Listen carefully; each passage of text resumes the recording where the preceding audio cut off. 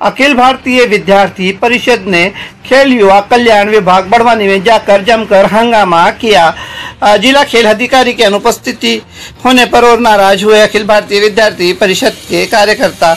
वहीं कई देर के इंतज़ार के बाद खेल अधिकारी पहुँचे खेल युवा कल्याण विभाग बड़वानी में।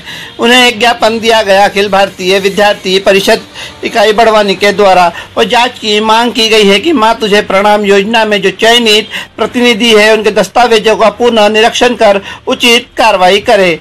अखिल भारतीय विद्यार्थी परिषद का आरोप है आरोप है कि चयन प्रक्रिया नियमानुसार नहीं हुई है। वहीं खेल अधिकारी ने कहा कि चयन नियम के अनुसार हुआ है। यश कारोले। किस पद? मैं नगर मंत्री हूँ बड़वानी अखिल भारतीय विद्यार्थी परिषद से। यहाँ पर खेल विभाग खेल एवं युवा कल्याण विभाग में संपूर्ण रूप से फर्जीवाड़े तरीके से माँ तुझे प्रणाम के सिलेक्शन किए गए हैं। राज्य स्तरीय बच्चों को छोड़ के संभागीय स्तरीय बच्चों के सिलेक्शन किए गए हैं और संपूर्ण रूप से फर्जीवाड़ा है।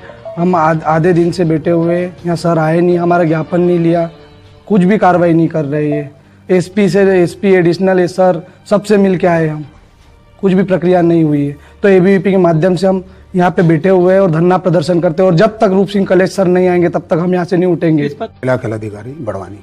एबीपी वाले आए थे हंगामा किया आप पे आरोप लगाए क्या आरोप है उनके? ये आरोप पूरी तरह से निराधार है। हमने जो सिलेक्शन किया माँ तुझे प्रणाम में जितने भी आवेदन प्रत्येक ब्लॉक से ज़िले में आए सभी का परीक्षण किया और उसके बाद समिति रहती है। समिति का अध्यक्ष कलेक्टर रहता है उपाध्यक्ष एसपी साहब रहते हैं और एनएसएस एनसीसी और मैं।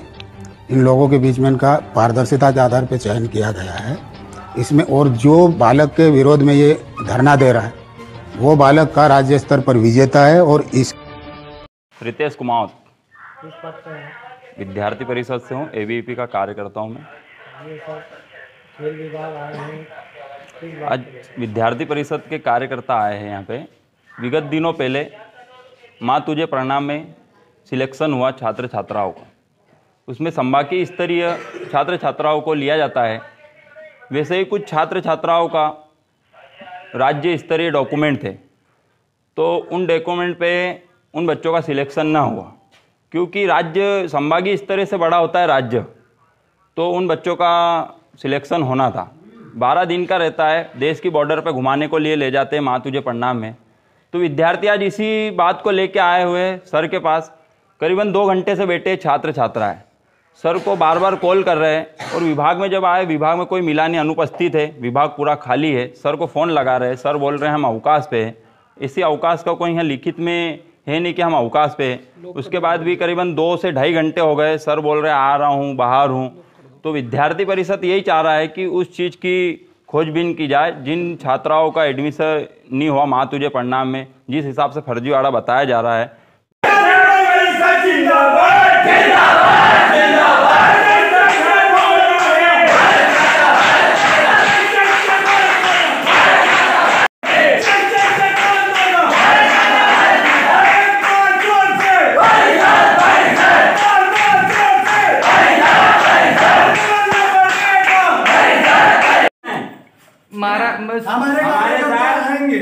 छात्र से बड़ा कोई प्रशासन है ही नहीं सर शासन भी हमें और प्रशासन भी हमें छात्र हैं हम